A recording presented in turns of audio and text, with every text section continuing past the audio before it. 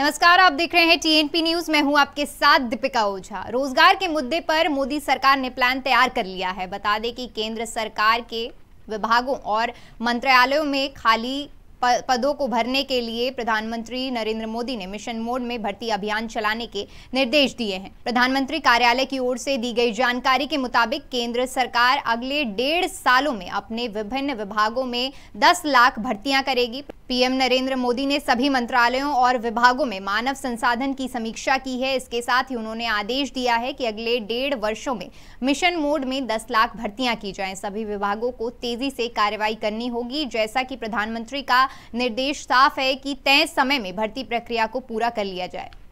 उत्तराखंड विधानसभा का बजट सत्र आज से शुरू हो रहा है और पहले दिन ही वित्त मंत्री प्रेमचंद्र अग्रवाल सदन के पटल पर वित्तीय वर्ष 2022 और 23 के लिए शाम चार बजे बजट पेश करेंगे। बता दें कि मार्च महीने में सरकार पहली तिमाही के लिए लेखानुदान लेकर आई थी। अब सरकार शेष अवधि के लिए बजट लेकर आ रही है। इससे पहले कैबिनेट की बैठक में सरकार ने इस वित्तीय वर्ष के लिए करीब तिरसठ करोड़ रुपए के बजट के प्रस्ताव को मंजूरी दी थी। विधानसभा सत्र के पहले ही दिन हंगामे के आसार हैं। विपक्ष सत्र ना कराए जाने के मुद्दे पर सदन में सरकार पर हमला बोल सकता है। देश में राष्ट्रपति चुनाव को लेकर अधिसूचना जारी कर दी गई है। इसी क्रम में अब सभी राजनीतिक दल उम्मीदवार को लेकर विचार कर रहे हैं।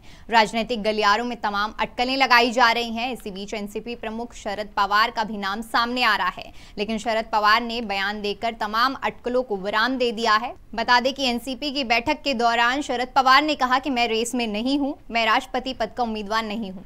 तो वहीं जुम्मे के नमाज़ के दिन देश भर में हिंसा भड़काने की साजिश के तार पाकिस्तान से जुड़ रहे हैं। Digital forensic research and analytics centre यानी डीएफआरएसी की नई रिपोर्ट में इस बात का दावा किया गया है कि पैगंबर मोहम्मद पर दिए गए नुपुर शर्मा के विवादित बयान के बाद पाकिस्तान ने ट्विटर के ज़रिए देश में हिंसा फैलाने की साजिश रची है और बताया गया है कि पाकिस्तान में करीब सात हज़ार से ज़्यादा ट्विटर अकाउंट फेक न्यूज़ फैलाकर देश में दंगा कराने की साजिश साजिश का काम कर रहे हैं। दिल्ली में ट्रैफ़िक को लेकर पुलिस ने एडवाइजरी जारी की है। दिल्ली ट्रैफ़िक पुलिस ने बयान जारी कर कहा कि कृपया Gol Methi junction Tughlaq road junction, Claridges junction Q point junction, Sunehri Masjid junction, मौलाना आज़ाद रोड जंक्शन और मान सिंह रोड जंक्शन से सुबह सात से बारह बजे के बीच जाने से बचें। बयान में आगे कहा गया है कि विशेष यातायात व्यवस्था के कारण नई दिल्ली में Gol Dak, Khana junction, Patel Chowk, Windsor place